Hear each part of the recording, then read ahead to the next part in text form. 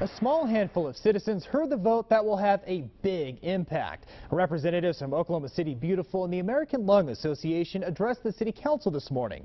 According to OKC Beautiful, there are 133,000 smokers in Oklahoma City who drop over 665,000 cigarette butts a day. Thousands of dollars are spent cleaning them up, and five gallons of toxins from cigarettes are leaked into Oklahoma City soil every day. No one spoke up against the proposed ban. The city council voted unanimously to ban smoking on all city-owned and operated property, both indoors and outdoors, with the exception of streets alleys, sidewalks, golf courses, and Remington Park.